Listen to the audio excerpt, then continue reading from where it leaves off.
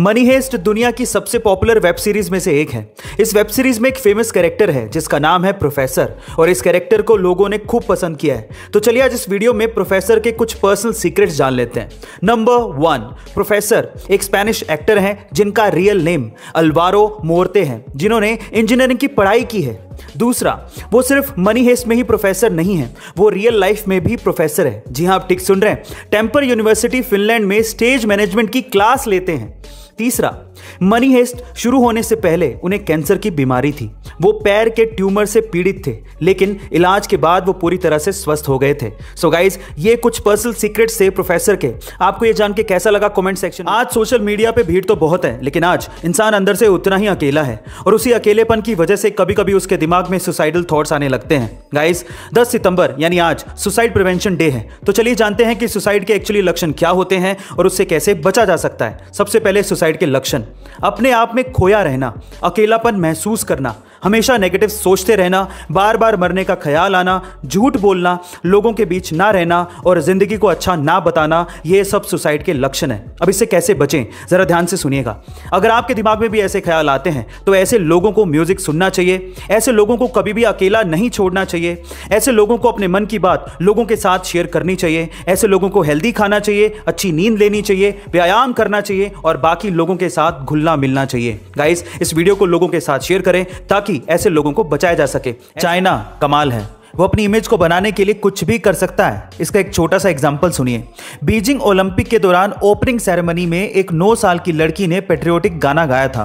बाद में पता लगा कि वो लड़की सिर्फ़ होट हिला रही थी, यानी कि लिपसिंग कर रही थी, और गाना तो किसी और ही लड़की ने गाया था। जिस लड़की ने सच में ये गाना गाया था, उस सात साल की लड़की को बैक स्टेज ही रखा गया था। और रीजन जान के आप लोग हैरान रह जाएँगे। उस लड़की को सिर्फ़ इसलिए बैक स्टेज रख के गाना गवाया गया था, क्योंकि वो लड़की अच्छी नहीं दिखती थी जिससे चाइना की इंटरनेशनली इमेज खराब हो सकती थी। अजीब है ना, पर यही चाइना है। गाइस आपका इसके बारे में क्या कहना है? कमेंट सेक्शन में ज़रूर लिखिएगा। ज़िंदगी के कुछ कड़वे नियम हैं, जिसे हमें हमेशा फॉलो करना चाहिए। Number one hungry dogs are never loyal इसका मतलब यह है कि ऐसे लोगों को अपना दोस्त ना बनाएँ, जो कि सिर्फ़ अपने मतलब के लिए आपसे बात करते हो। Number two be like a mirror इसका मतलब यह है कि सबके साथ दयालु बनने की ज़रूरत नहीं है। अच्छों के साथ अच्छा बने और बुरों के साथ बुरा। Number three seek respect and not attention क्योंकि अटेंशन सेकंड्स में चली जाती है लेकिन रिस्पेक्ट लंबे समय तक रहती है। And number four never argue with your haters क्योंकि ये ऐसे लोग होते हैं जो कि पैरासाइट के जैसे होते हैं जो कि आपकी पॉजिटिव एनर्जी को आपसे चूस लेते हैं। तो ऐसे लोगों से हमेशा दूर रहें। गाइस आपको ये लाइफ लेसन कैसे लगे? कॉमेंट सेक्शन में ज़रूर लिखिएगा। इंसान ने आज तक इतना गहरा गड्ढा खोदा होगा क्या आप जानते हैं? नहीं, अपने लिए नहीं, धरती के नीचे की बात कर रहा हूँ। चलिए आज ये भी जान लेते हैं। इंसान द्वारा आज तक खोदे गए सबसे गहरे गड्ढे का नाम है कोला सुपर डीप बोरहोल, जिसे 1965 में रशिया द्वारा खोदा गया था, क्योंकि वो धरती में छिपे हुए रहस्यों को जानना चाहते थे।